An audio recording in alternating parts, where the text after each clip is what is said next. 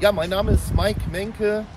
Liebe Grüße nach Nordrhein-Westfalen an unseren Gesundheitsminister, Herrn Karl-Josef Laumann, an die Bezirksregierung in Münster und vor allen Dingen an Jutta Schulte und Christian Schneider unserer Hilfsorganisation Stützpfeiler.org e.V.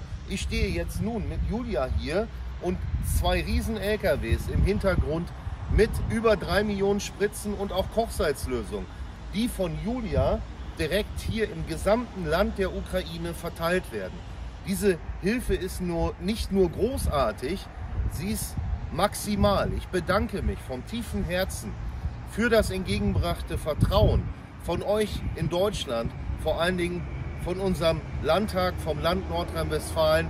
Und ich bedanke mich für die Unterstützung bei euch in Deutschland, die ihr jedes Mal uns wieder aufs Neue mitgebt.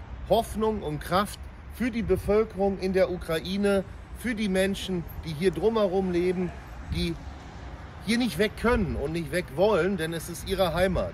Aber was wir machen können, ist mit medizinischen und humanitären Hilfsmitteln den Menschen unterstützen. So wie hier in dem LKW, was hier drauf ist. Das ist Gold wert. Denn auch hier werden immer wieder Spritzen ausgewaschen, gerade in den ärmeren Gebieten und auch die Spritzen werden immer wieder verwendet. Das ist natürlich ein absolutes No-Go.